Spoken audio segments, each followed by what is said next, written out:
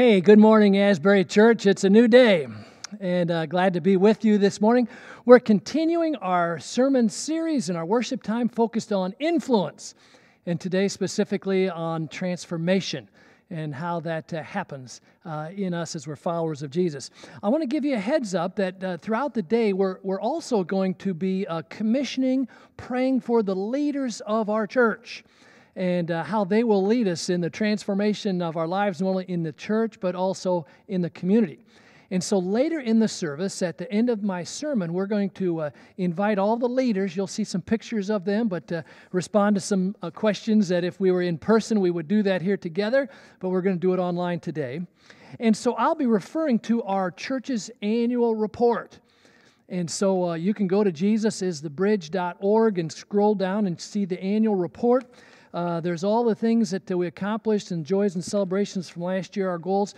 But then also at the back of it is the, um, the list of the leaders that we're going to refer to uh, at the commissioning time at the end of our uh, at the end of the service, uh, the sermon uh, part of our worship today. So you can be uh, checking into that, look at that as we worship or at any time.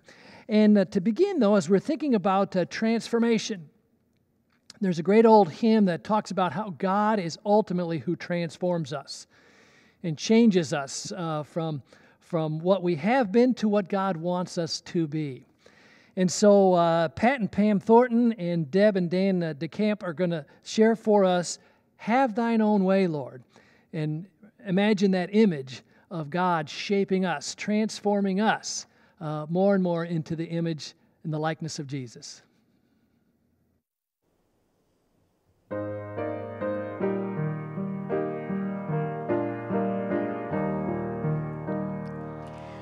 Have thine own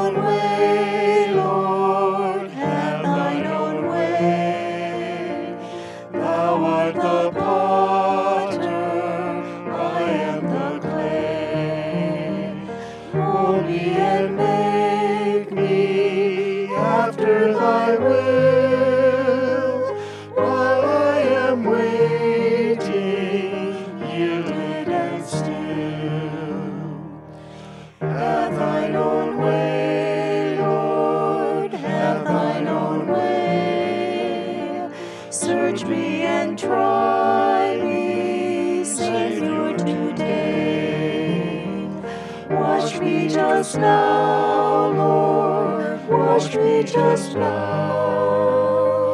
As in thy presence,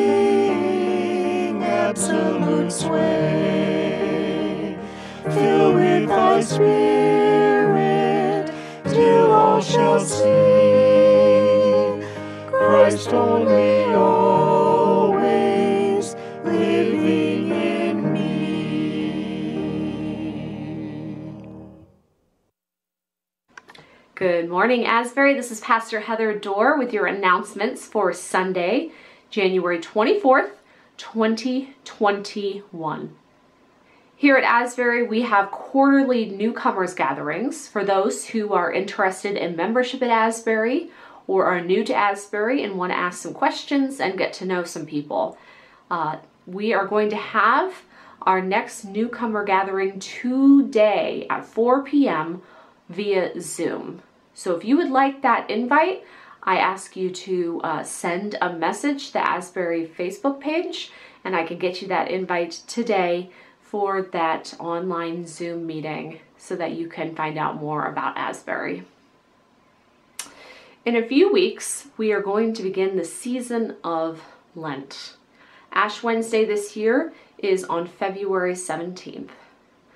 Uh, we are putting together Lenten and Easter bags so that every household has some items that are uh, different welcomes and uh, we misuse from committees and teams here at Asbury, along with items to help you mark the special season in the church calendar.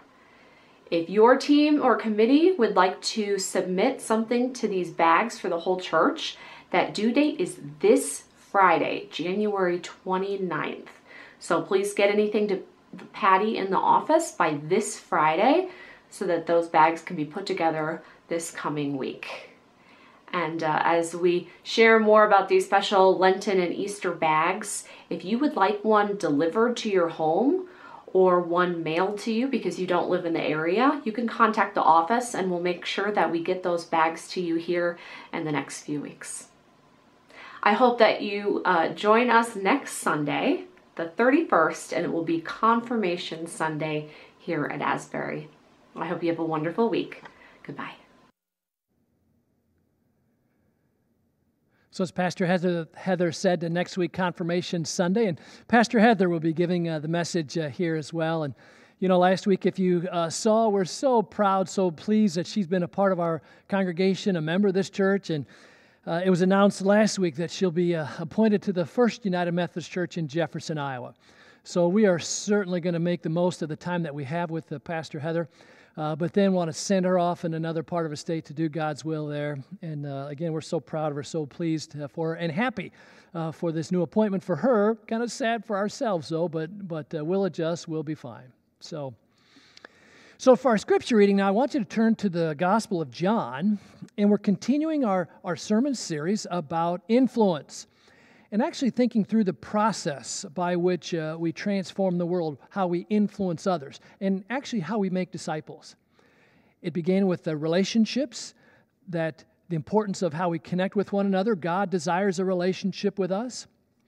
It continued with those relationships are, are meant to first be uh, built upon trust and how we earn trust amongst uh, the people around us. God earned our trust in Jesus but then a vision, a direction of where we want to go. Last week we talked about uh, the Sermon on the Mount, how Jesus gave a vision of what we could be like, our character, our nature, as we become more and more like Him as followers of Jesus.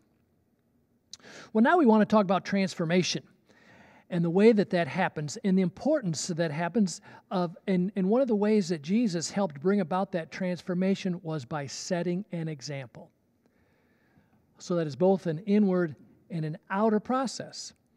And so in the Gospel of John, we see now uh, chapter 13. This is the last night that Jesus was with his disciples.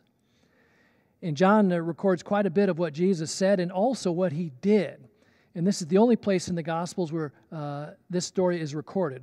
Uh, but Jesus uh, washes uh, their feet.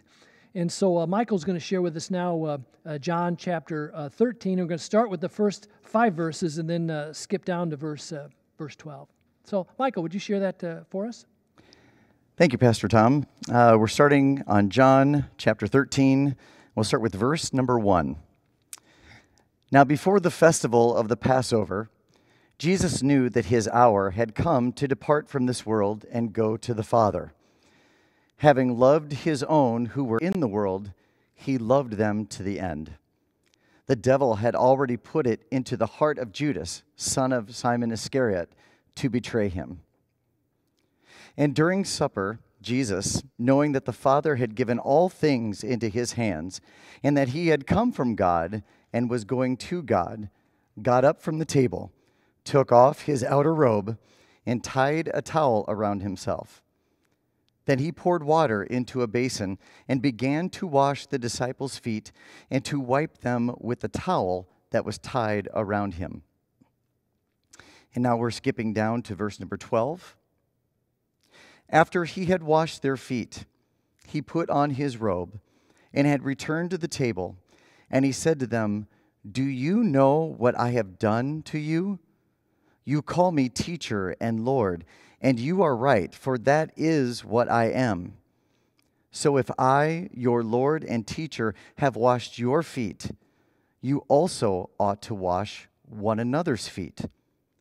For I have set you an example that you should that you that you also should do as I have done to you.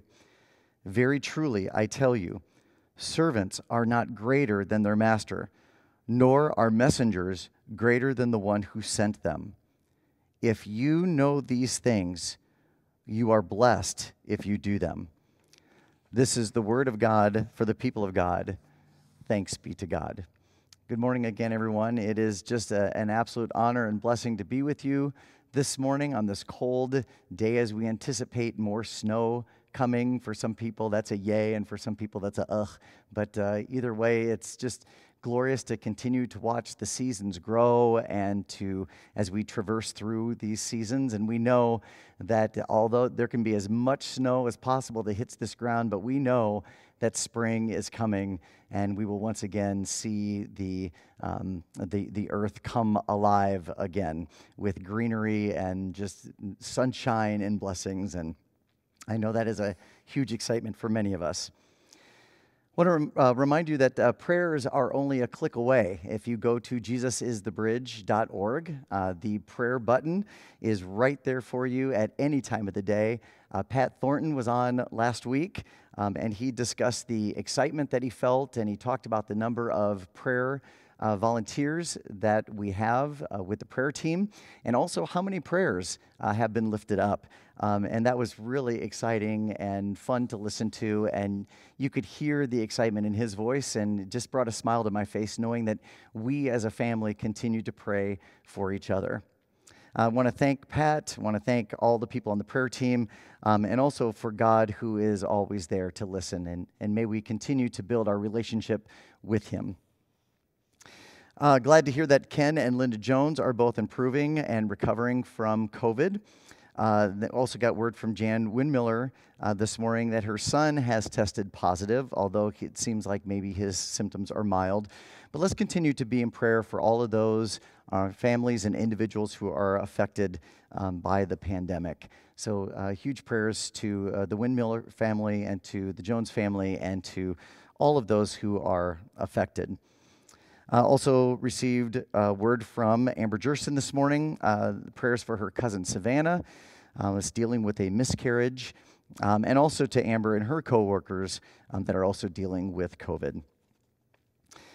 Uh, continue prayers for Pastor Heather, as Pastor Tom just talked about, as she prepares for the big move to Jefferson, Iowa. We want to uh, think of her and her family during this time. We also have prayers for the family of Harry Hepler as he passed away this week, and his funeral was yesterday. Um, it was uh, wonderful to sit at my job at Central High School uh, with Gail Baldwin and to talk about Harry and um, to see her smile as she thought about him and reminisced about him and the contagious smile that he had.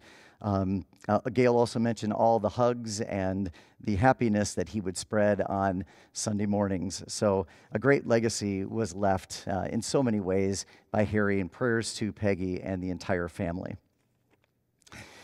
And other than just reminding us all to continue to be in prayer for each other and continue to uh, feel free to lift up those prayers on Facebook this morning and also on jesusisthebridge.org. Just a reminder to be good people and to help each other, and may God continue to bless all of us. Let's take an opportunity now to pray the unison prayer that's on the screen. Would you please pray with me?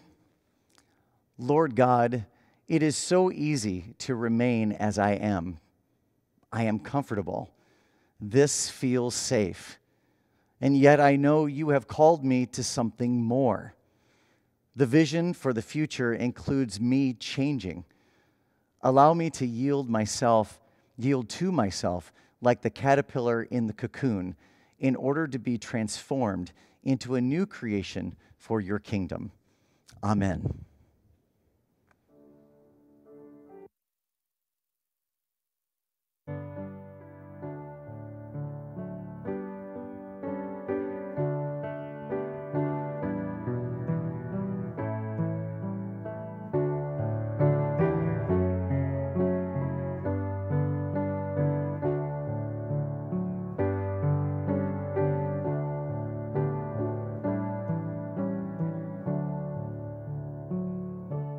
Gracious God, We do praise you and thank you that you have come to us in Jesus because you want to save this world. And you've told us that when we follow Jesus, we will pick up and continue his work, his ministry, to bring your healing, your hope, your light to this world.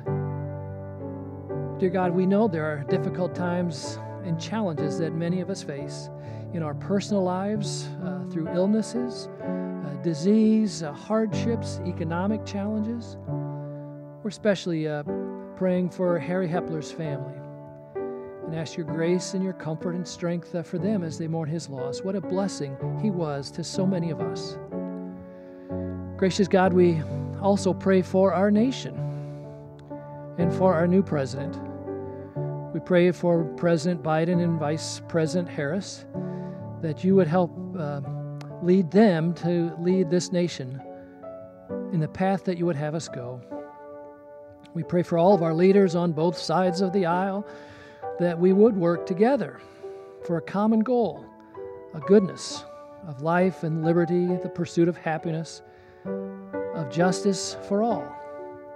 May we be your instruments within this country to shape it in the way in which you would have us go. And dear God, while we want to build trust and safety in our nation, we also know we must build it in our neighborhoods and in our own families and in the community where we are right now. We pray that your Spirit would so fill us that we would see our neighbors as friends, as someone to care for, as someone who's different, even, as a neighbor as well. We pray that you would help us to build bridges for you so that you can transform not only us, but our community, our nation, and our world. Even though there's many challenges, we have hope. We have strength. We have the power of your spirit within us so that we go forward to face whatever it is, knowing that you go with us and you love us and we'll be okay. And so it is with that hope and trust and confidence that we pray the prayer that Jesus taught us saying Our Father, who art in heaven, hallowed be thy name. Thy kingdom come, thy will be done on earth as it is in heaven. Give us this day our daily bread, and forgive us our trespasses as we forgive those who trespass against us. And lead us not into temptation but deliver us from evil. For thine is the kingdom and the power and the glory forever. Amen.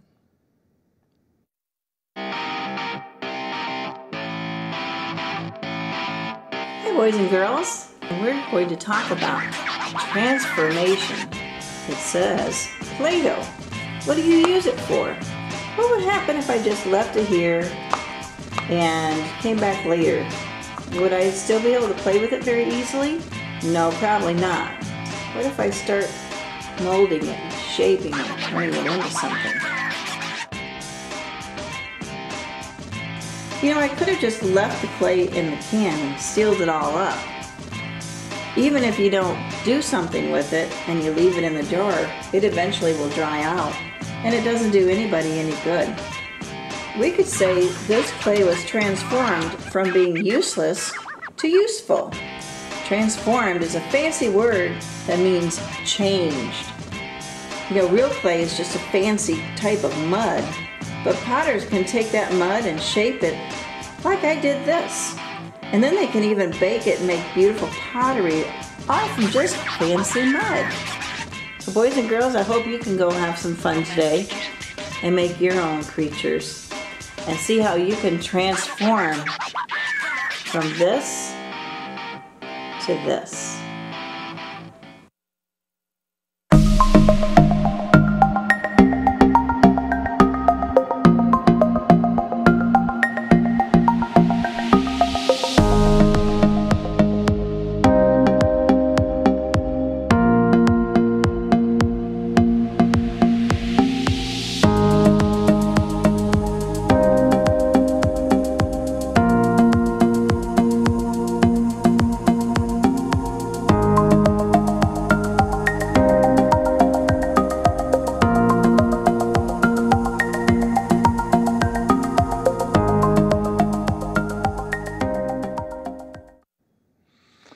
Well, thanks, uh, Carrie. We are talking about transformation today, which is a change not only on the outside, but on the inside as well. And it comes about through influence. You know, one of the things, uh, or one of the funniest commercials, or some of the funniest commercials I think on TV right now, are those ones by Progressive Insurance about becoming your parents. Have you seen those? There's a fictional character, Dr. Rick, who's uh, an expert in uh, parentology and helping parents or helping adults when they buy a home, they become like their parents, and he tries to uh, help them see that so that they can be who they want to be. It's, it's, it's, I believe it's hilarious in many ways because it's so true. I know my kids and my wife sometimes will kid me about, oh, a behavior, something I do, that's just like your dad. Not like that's a bad thing. But it certainly is true how we can take on the characteristics uh, following the example that had been set by our parents even when we were young. Something that happens even without our knowledge. And so today, as we're thinking about transformation and this whole sermon series about influence, we want to talk today about the powerful influence of a positive example. And how that influence through our example is part of how, how God, uh, God's Spirit is able to transform us. Well, again, we're thinking through this uh, series on influence Christian leadership in a social media world. And even though the media, the technology has been changing, I believe these principles are timeless. That first of all, relationships are everything. We live in relationship with other people all the time. That's what we're created to do. And that God desires a relationship with us. That's why He came to us in Jesus that then the type of relationship that we want to develop is one based on trust, where it's safe. And God and Jesus has told us it's safe to trust God. God is all light and God is all love. So that means uh, we can come to Him with who we are and confess our sins, our faults, our shortcomings, and He'll still love us. And God will still care for us and be with us. And then also want us to change to go and sin no more. Not out of uh, punishments, uh, a fear of punishment, but out of a desire to have life to its fullest. And so last week we talked about a vision. Once trust has been established, then we can talk about a, a positive future and the importance of a vision of where we're going in a direction and how Jesus lifted up a, a vision in the Sermon of the, on the Mount of what kind of people his followers would be. And he um, uh, lifted that. Uh, uh, that vision of how we're to treat one another and forgive one another and care for one another and not make a show of how great we are or, or, or, try to exalt ourselves, but be compassionate and caring for one another as a reflection of our relationship with God. That's what God has done for us. And even within that uh, sermon, one of the great uh, lessons to all the world about uh, boiled it right down to treat other people as you would want to be treated. And so that's a vision of, of empathy, of caring, of, of seeing another person's perspective. Now, that requires, or that vision then, the recognition is that we're not there yet. Ultimately, a vision of being more and more like Jesus, who reflects to us the very character of God. And so, to be a follower, to be a disciple of Jesus, is to a, a, desire to follow his example, to, to, to allow his character, his nature, his very spirit to fill us so that we're changed, we're transformed not only on the inside, but also on the outside. And specifically in, in what we do. Now, this is what Jesus wanted to do from the very beginning when he called those first fishermen uh, by the Sea of Galilee. And he told them, Follow me, and I will make you fish for people. He said, Follow me. That means follow the example that I set for you. Then, then he, he went through the, the um, Galilee and the region, and he healed people. He taught people about God's kingdom. He also uh, gave his disciples the authority to do the same. He, he demonstrated, he set an example for them, and then he sent them out to, to proclaim the good news, to cast out demons, to heal uh, other people and he continued to supervise them and had them come back and say now how'd it go? And, and now here's some more lessons and, and here's what i want you to do. So there was a transformation that was happening in those disciples both in the words that they were hearing uh, the example that they saw in jesus but also as they went out and tried to follow that example and do it themselves. And so now when we get to, in the gospel of john in the 13th chapter now this is all coming to a head. This is the last night that Jesus is with his disciples. And John tells us that he knew it. He knew that his hour had come to depart from this world and to go to the Father. Now, if you know you've only got so much time, wouldn't you say, I, I, I better say what's really most important and make the most of this limited time that I know is coming to an end?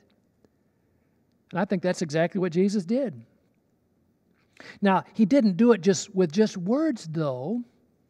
It says that he got up from the table, he took off his outer robe, he tied a towel around himself, poured water into a basin, and then began to wash the disciples' feet and to wipe it with the towel that he had tied around him. Now, again, we have to remember 2,000 years ago, the rituals, the common practices that would have been in, in that day. And, and I've been in, in Africa and I've been in Southeast Asia where, where sandals are the standard footwear that almost everybody wears. And I've seen how there's a common practice. You come in and you, you just leave your sandals at the doorway and, and walk into the house. Now, in my culture, in my setting now, you know, uh, sandals are only worn occasionally when it's warm, and most of the time we wear shoes. And so we may lose some of the cultural significance of this everyday practice. Um, people would come into a household, they'd leave their sandals at the door.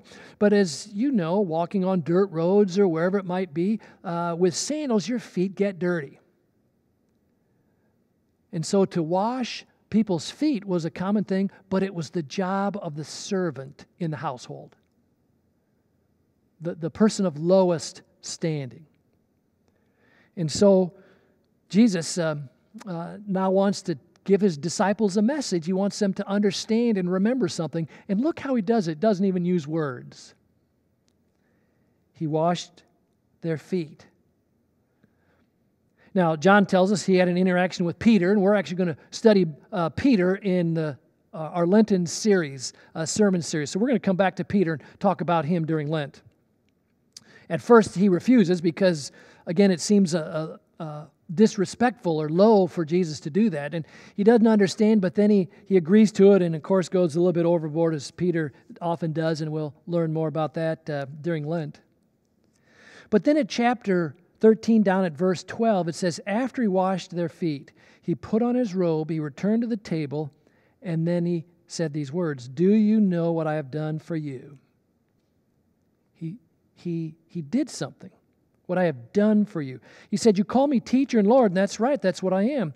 But if I, your teacher and Lord, have washed your feet, you also ought to wash one another's feet. Now, again, I don't know that he was talking specifically about the act of washing each other's feet every time they came in. He said, I have set you an example that you should also do as I have done to you.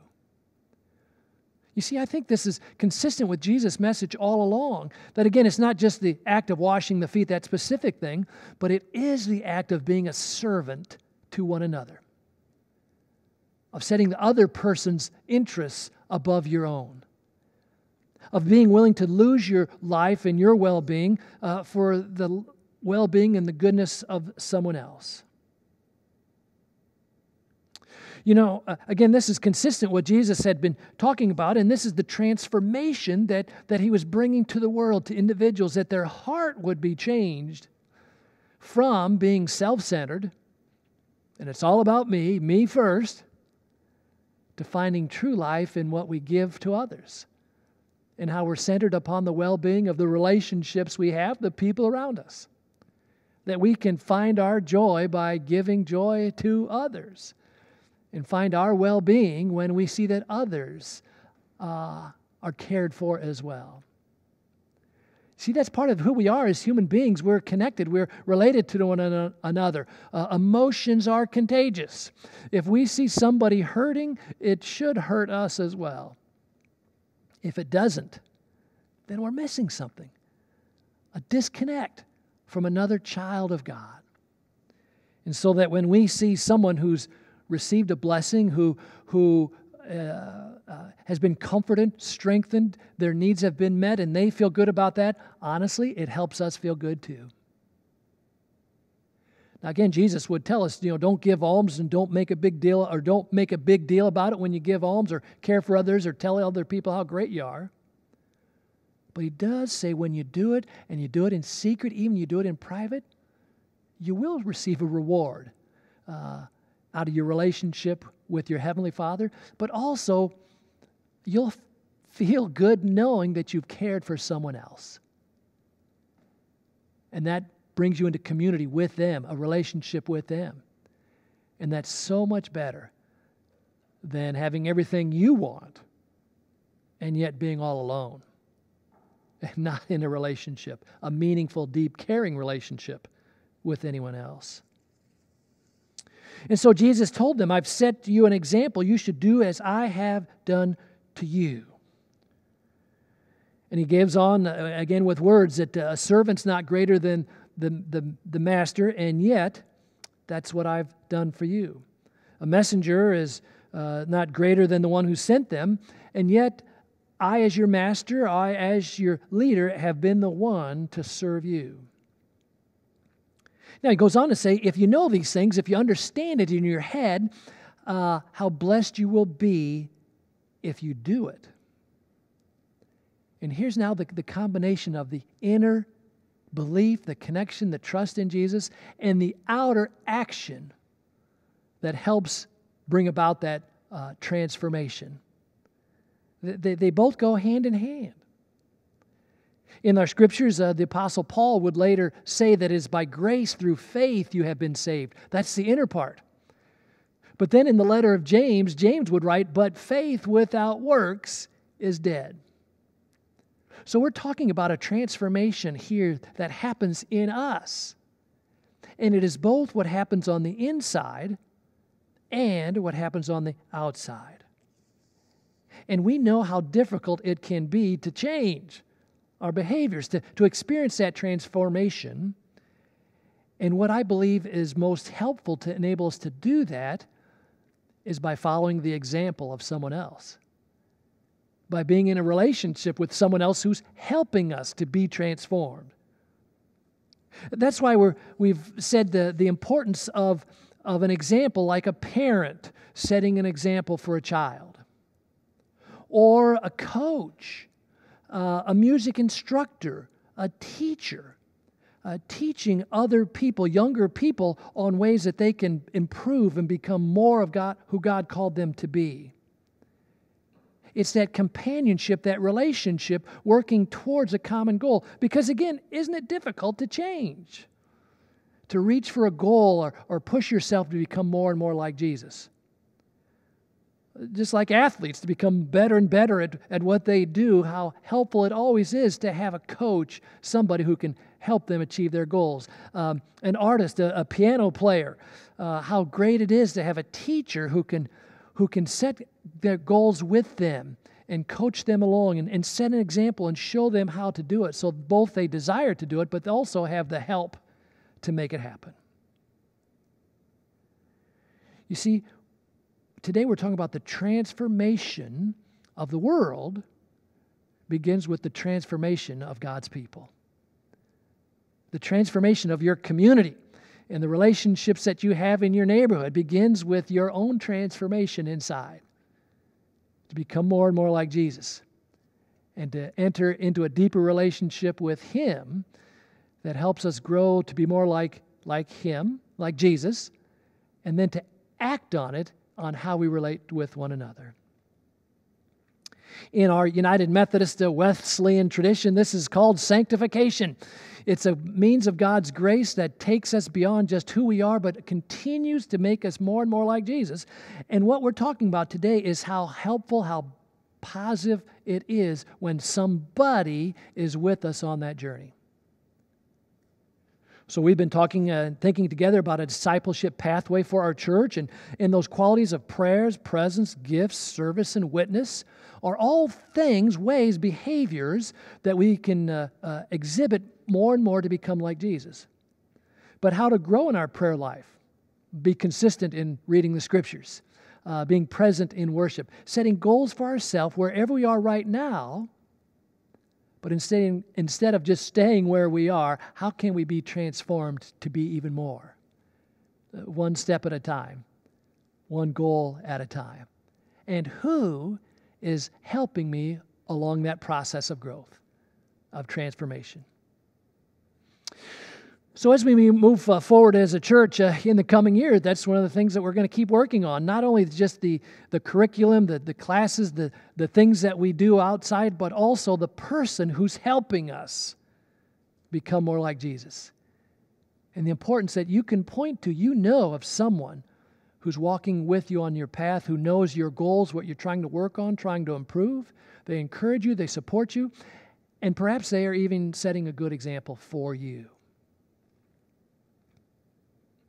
Well, uh, as we look ahead now, we want to think about how we're going to do that as, as a church.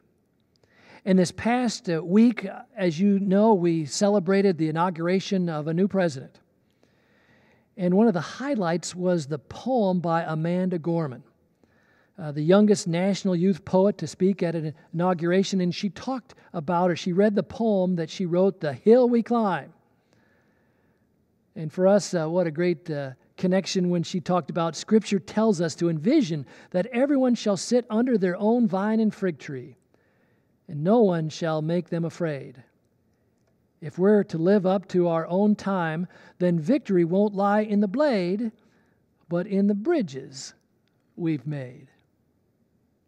And here at Asbury, we believe Jesus is the bridge who connects us to God and to one another.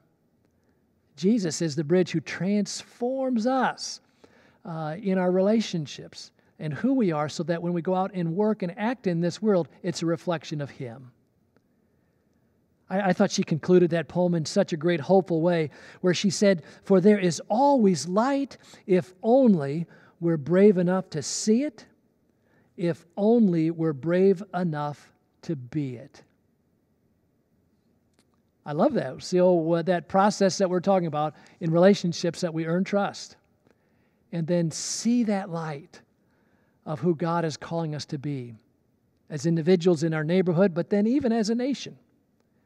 And then to be that light, to be transformed, so that we become first in our own hearts uh, who God wants us to be. Then in our actions, demonstrate that and show that and be a servant uh, caring for those around us, following the example of Jesus. Well, as you think about your own life, think about how important your parents were as an example for you. And in some ways, you can't help it to be like them and follow that example. But as we grow older, at some point, we have the ability to, to look around and choose the examples that we want to follow and not just do it because that's what we've always known, but also to be able to say, I want to be more like Jesus. I want to be more like that person who is following Jesus. I want to follow the examples of others who are growing in their faith so that I can as well, and I can be transformed, and then I can set an example for others. Whether it's online or in person, that we are transformed uh, when Jesus is a part of our hearts, our lives, and then we go out to do and act in the way that He taught us and follow His example. Well, we want to think about uh, how we're going to do that as a church in this coming year. And uh, uh, as I mentioned earlier, we have our, our annual report that's available online.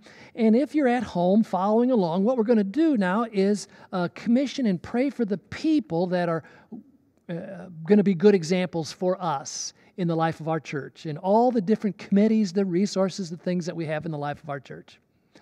So, um, if you're one of those uh, folks, first of all, if you uh, uh, can take a look, here is uh, our annual report. And uh, you can have uh, see that on the screen here. Here's a bigger shot of it. inside, there's all kinds of good information about what has happened in the past year. but if you go to the back, Uh, and you'll see this heading, here is uh, the part where there are, oh, I'm sorry, here are the goals first. Here are the goals that we've got that we said this is the vision, in a sense, what we want to do for the year. I won't go through them all right now, but you can go back and look at them. This is as a church trying to say, this is the vision, this is the goals, this is what we want to accomplish this year. But then go back to the back and find this heading where here are the people are going to help us along the way. And uh, we won't go through it all because there's several different committees. There are several different uh, uh, groups that are listed there. And a week ago, we had a Zoom meeting and orientation for all the people who are on the list here. And so uh, uh, you might take a look at that. If you're one of those folks, uh, you can see there. there's a, I think there were, we had about 52 or over 50 people on the call last week. And there's a, a few more of them, and I think we've got one more shot. Uh, there they all are. This was both our staff, our paid staff, but all the folks that are listed on these pages uh, of our leadership ministry and teams. And what we want to do today is commission these folks and pray for them. And so if you're watching at home, I've got some questions for you to answer in some ways, just like in the inauguration last week when uh, President Biden and Vice President Harris uh, took an oath of office to defend the Constitution, I'm going to ask you: Are you willing to accomplish or to take on these uh, uh tasks for the life of the church? And so again, uh, if you're following along at home as a leader, you're gonna you're gonna answer the questions I'll ask of you. And if you're not a leader, but you're one of the members of the church, we want to pray for these folks, commission them as they help uh, lead our congregation to accomplish our goals so that we can be transformed and that we can set a good example and transform the world around us. And so, first, I want to address uh, all of you and say these words Dear friends, you have been called by God and chosen by the people of God for leadership in the church. This ministry is a blessing and a serious responsibility. It recognizes your special gifts and calls you to work among us and for us. In love, we thank you for accepting your obligation and challenge you to do your best to the Lord, to this people, and to our ministry in the world. Live a life in Christ and make him known in your witness and your work and your example. And so I want to ask you these questions. Uh, those of you that are willing to be in a leadership role in the church, do you this day acknowledge yourself to be a faithful disciple of Jesus Christ? If so, you right where you are at home, say, I do.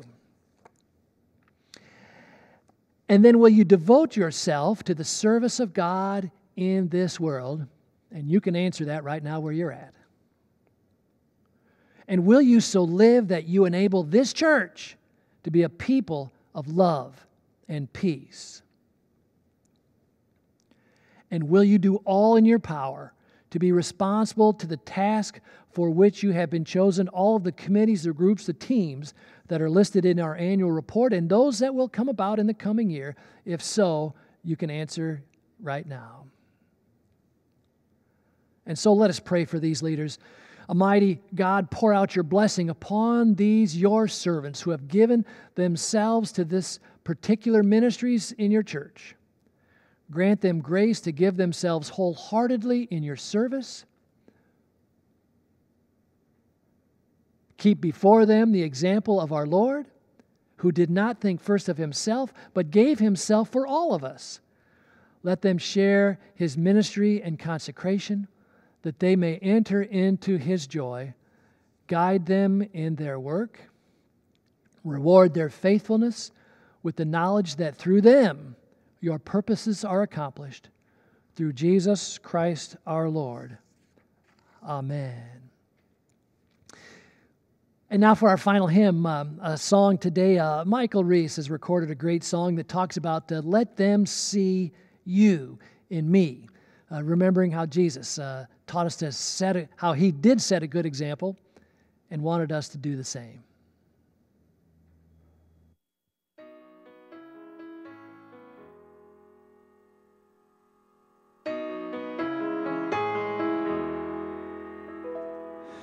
Take away the melodies.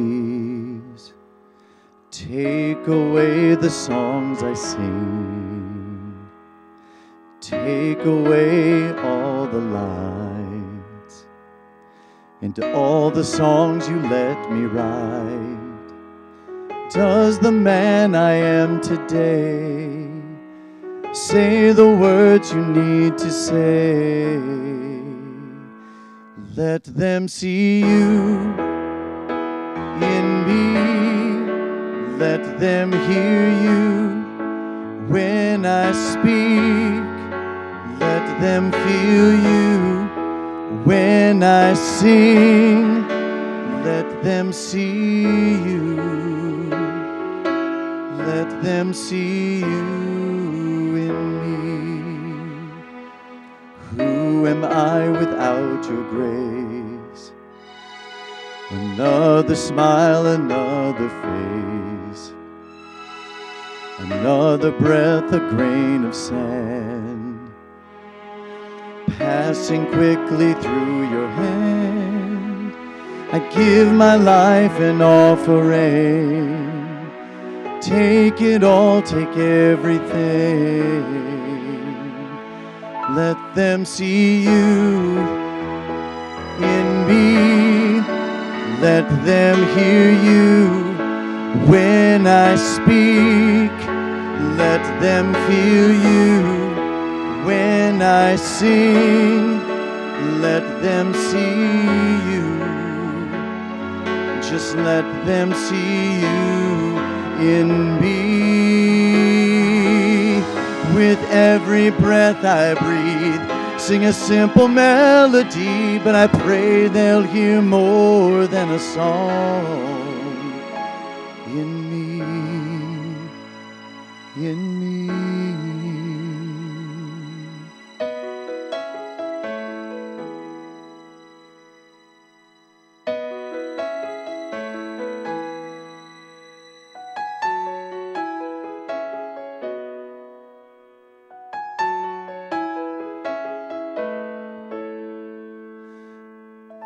them see you in me.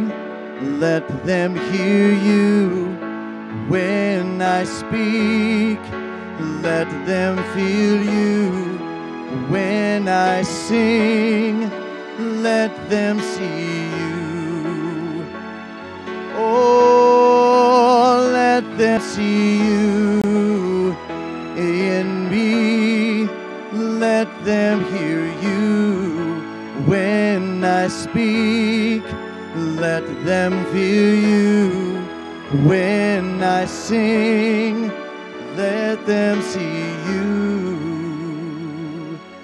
Let them see you in me. Let them see you.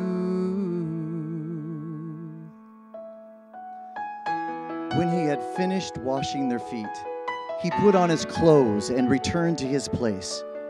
Do you understand what I have done for you? He asked them. You call me teacher and Lord, and rightly so, for that is what I am. Now that I, your Lord and teacher, have washed your feet, you also should wash one another's feet. I have set an example that you should do as I have done for you.